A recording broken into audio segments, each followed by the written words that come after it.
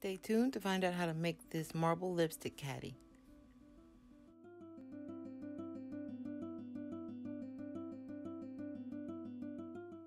To begin, I'm going to take my plastic container apart.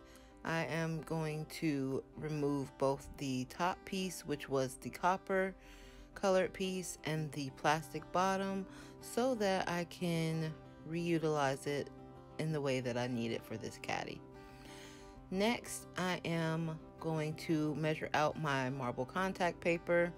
The easiest way is to set your plastic container on top of the marble paper, put a small piece of tape on the end so it'll hold it in place, and then measure around the entire circumference of the container. Once you get the exact amount that you'll need measured out, then you'll simply take your scissors and cut along the marble contact paper using those predetermined lines on the back. They already have it measured out and the lines are extremely helpful to keep your line straight as you're cutting and then also measure out how much contact paper you'll need as to not waste any.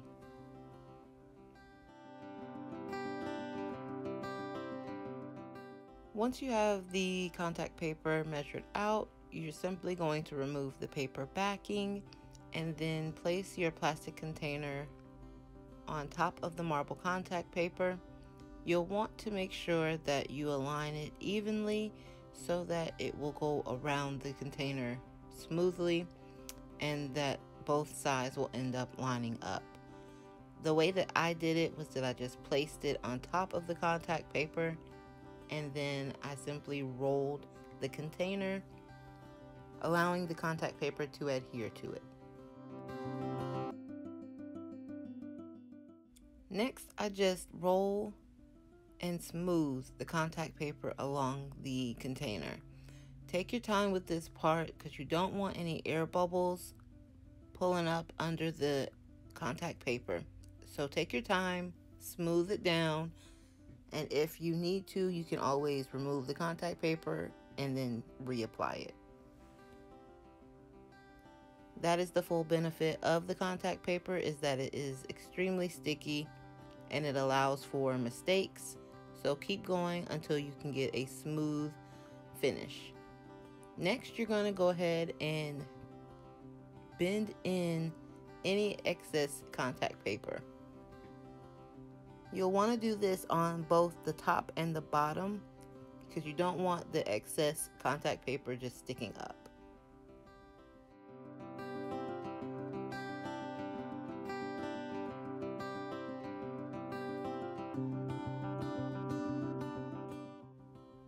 Next, I'm going to glue the plastic cylinder to the bottom of the caddy.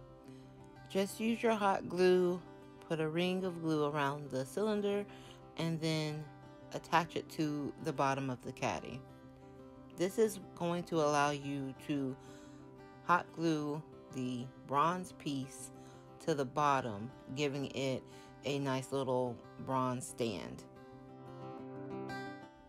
Once you add your hot glue to the plastic piece that is now the bottom of your caddy, you'll want to make sure that you flip it over and press down so that the hot glue actually adheres to the bronze.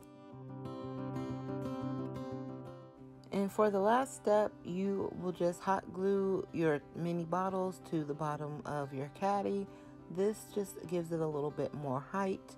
The place that I'm setting it in my bathroom, I want it to stand up off of the counter and these are actually syrup bottles from Cracker Barrel that I used. Um, I wanted to use things I already had on hand.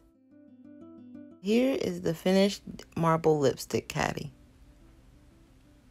I really liked how this came out. It was a simple use of items that I already had on hand and it is going to be really practical because look at all these lipsticks I have. I have so many and now I have a cute place to store them. After I finished, I thought about later on adding inserts inside the caddy. That way I can separate the lipsticks by color. But I will do that later because I thought about it after I finished the video.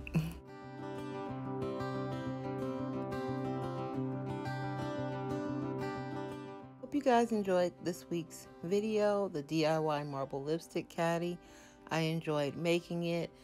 It was well needed. I had all of my lipsticks just sitting in that makeup bag that you saw, which it's such a cute bag, but I wanted to have them accessible so that I will use them more. I normally stick with the same lipstick or lip gloss every day. So I want to utilize more of the ones that I have so that they're not just sitting somewhere in a makeup bag. Anyways, if you guys decide to make this lipstick caddy, please make sure that you tag me on Instagram at haiku underscore creations. It is so much fun creating these different DIYs each week. Please leave me a comment below on which DIY has been your favorite so far this year. Thank you guys for joining me. I love you guys so much. Wherever you are and whatever you're doing, I hope you're having a great day and always keep creating. All right, I love you guys. Make sure you hit that subscribe button, tap the like, thumbs up, and share this video with a friend. All right, love you guys. Bye.